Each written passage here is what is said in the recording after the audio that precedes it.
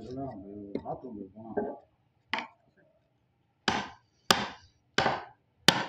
மச்சனைக்கிட்ட ரெண்டு நாள் வேலைக்கு அனுப்பிச்சு விடுவோம்? ஒரு மச்சனைக்கிட்ட ஒரு ரெண்டு நாள் வேலைக்கு அனுப்பிச்சு விடுவோம்.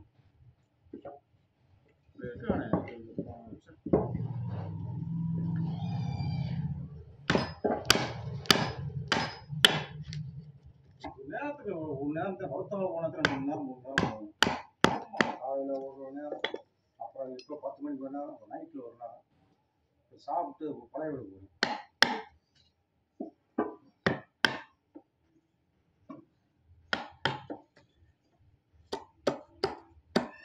அப்பா அதுதான் தெரியும்